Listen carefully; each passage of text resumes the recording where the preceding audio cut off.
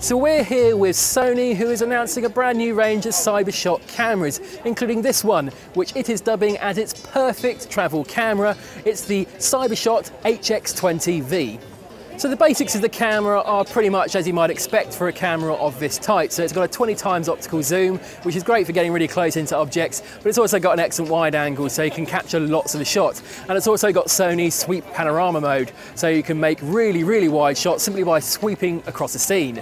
Other features it includes is a full HD video mode and it's got stereo microphones as well, so you should be able to capture decent audio, although of course we'll be testing this in our own labs. Looking around the back of this camera, you'll see that it doesn't have a viewfinder like the Super Zoom Bridge camera, the HX200V, uh, but it does have this LCD screen, which from what we can tell looks pretty good, although we'll get our lab to have a closer look and see exactly how it compares to the competition. At the top of the camera you see it's got a good mode dial here which is uh, very trussy, it's got a nice action on it. It's also got the uh, zoom controls and the capture button right here.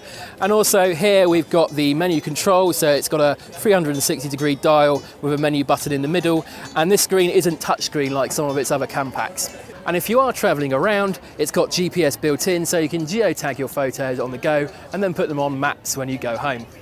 Now, despite the fact this really is quite a compact camera, you definitely could fit it in your pocket, unlike a Super Zoom Bridge camera. It really does handle really quite nicely. It's got a nice hand grip here that really sticks out, which is made of rubber, which means you can really grab hold of it really nicely. And it's also got a little thumb grip here, so that when you're holding it, even one-handed, you feel like you've got a really secure grasp of the camera.